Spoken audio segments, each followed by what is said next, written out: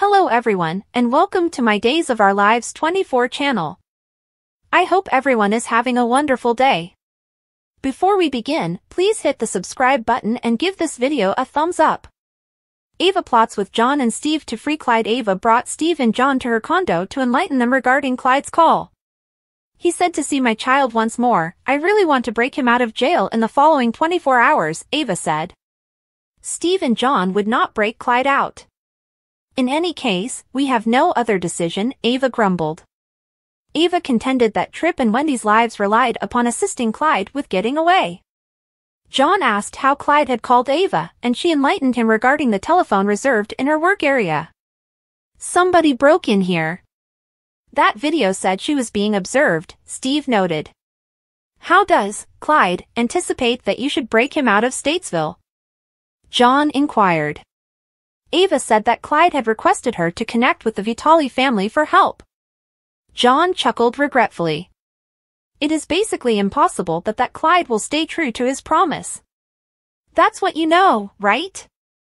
Steve inquired. We need to attempt.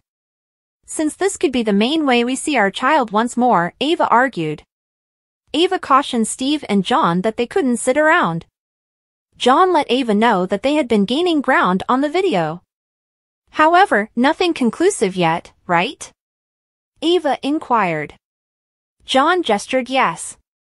We have no different choices. I want to break that charlatan out of Statesville today, and I really want your assistance, Ava said. Baffled, Steve shouted, Damn it, Ava! For what reason did you need to get stirred up with Weston in any case? Ava advised Steve to fault her for the circumstance, however assuming he neglected to help her and Trip was killed, Steve would be the one to fault. Profound extortion? Really? Steve mumbled. Ava made sense of that she was out of choices. I realize you're frightened. I'm frightened, as well. However, we need to zero in on the things significant, and that is tracking down Trip and Wendy, Steve said. John proposed that they expected to think about different choices. Assuming we do this, we need to be holding nothing back, Steve said. I have you covered, pal, John said. With a murmur, that's what Steve noticed assuming that breaking Clyde out of jail was the best way to save Trip and Wendy, then that was what they would do. Now that we as a whole are ready, how can we go to pull this off? Eva inquired. John proposed they start with plans of the jail and decide the sort of safety framework the jail utilized.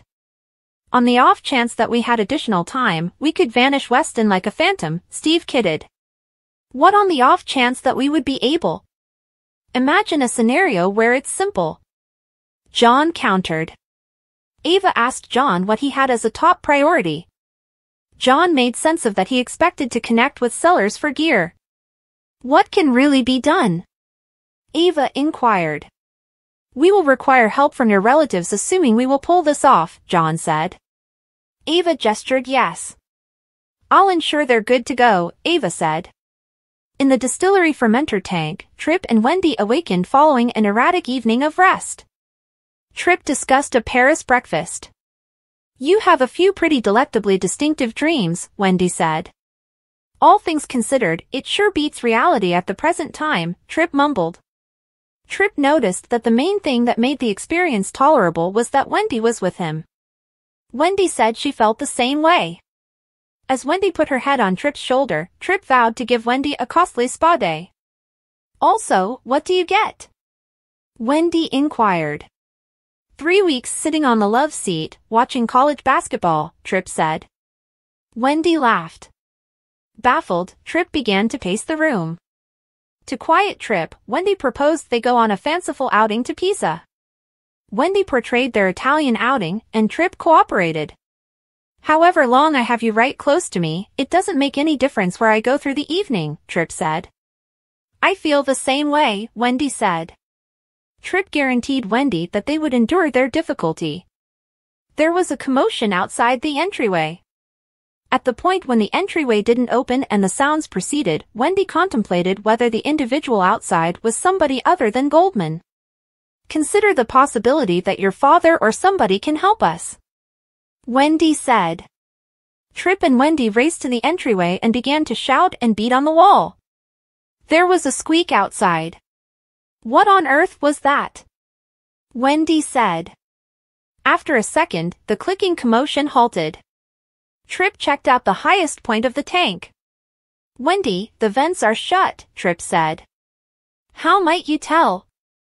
Wendy inquired. Trip held up his hand. With tears in his eyes, Trip said, I feel no air development. We're fixed in. Wendy began to have a fit of anxiety. Trip guaranteed Wendy that they had time left. How long? Wendy inquired. Trip said he didn't have the foggiest idea. We will be all right, Trip guaranteed. Trip urged Wendy to remain even-headed. Calm? What we need to do is get the damnation out of here. We will pass on, Wendy said. Trip maneuvered Wendy into an embrace to comfort her. In the DiMera parlor, Stefan was pouring a beverage when a shower robe-clad EJ strolled into the room. For what reason did you call me so late? EJ inquired. Stefan asked EJ for help. You must be joking. Disregard it. Anything you've done now, fail to remember it, EJ said. Stefan argued that EJ was the main family that he had left. EJ countered that Stefan was a bug that would continuously look for inconvenience. I attempted to stay away from the dull way, I did. In any case, things gained out of influence, and EJ, I want your assistance, Stefan said. For sure. Gabi could experience one more broken leg? EJ countered. Stefan murmured. I really want your assistance, or it's the best end for me, Stefan said. E.J's grin fell away, and he asked what Stefan implied. Stefan admitted to EJ that he had shot Harris on Clyde's requests. What on earth would you say you were thinking? EJ inquired. You understood what position I was in. I had no way out, Stefan snarled. EJ contended that there was generally a decision. At the point when Stefan made sense of that Gabi would have endured the side effects assuming he had denied Clyde's structure, EJ feigned exacerbation. Gabi, Gabi, who brings just a burden and hopelessness into our lives. However you stick to that lady. How in the world did it work out like this? EJ inquired. Stefan made sense of that the circumstance had become desperate since Harris was alive. How could that be more regrettable?